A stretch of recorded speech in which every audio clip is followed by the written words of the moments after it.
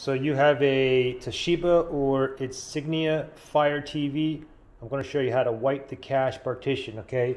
Which is right here. First thing we got to do is we need to boot into the Android recovery menu. Now wiping the cache partition, you're basically deleting temporary files and doing that can help if you have like delay issues or app issues with your uh, apps, errors, no sound. So it's the same thing as like on the Android phone. You're not going to lose any data or anything like that too. Okay, so again, it's wipe cache partition. All right.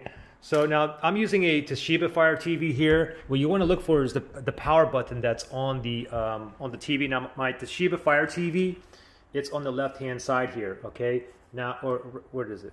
It's right here. You see the power input button right here. Now on my uh, Insignia, I think it's somewhere like in the very middle on the bottom or it might be on the right side. So you want to look wherever the um, power button is. Okay, so to boot into the Android recovery menu, first thing we want to do is just go ahead and unplug the TV. So go to the TV, let's pull the plug, okay? Next thing we want to do is we want to press and hold wherever the power button is. You want to press and hold and then go ahead and plug your TV back in and continue to hold this power button until the Toshiba or until the Fire TV logo pops up. So we're gonna do this together, okay?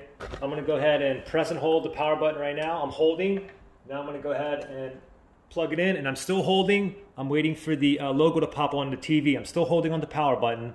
I'm just waiting for the Fire TV logo to pop up. Still holding. There it is.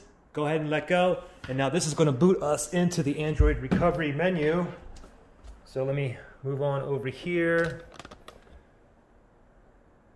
And voila, we are in business. Okay, so what we want to do is go down to where it says wipe cache partition, okay? You don't want to go to wipe data slash factory reset or you're going to be resetting the whole entire TV. So go down to wipe cache partition. How you go down, just go back to the power button on wherever the power button is on the TV and just press.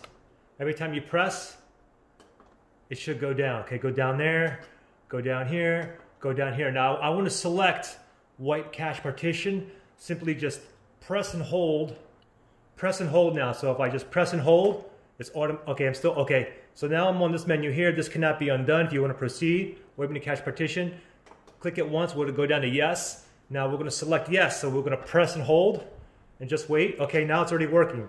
Cache complete. Okay, you're done. Now just go ahead and reboot system now. Press and hold the power button. And then voila, you just wiped your cache partition. Hopefully your whatever issue you had is now fixed. Good luck.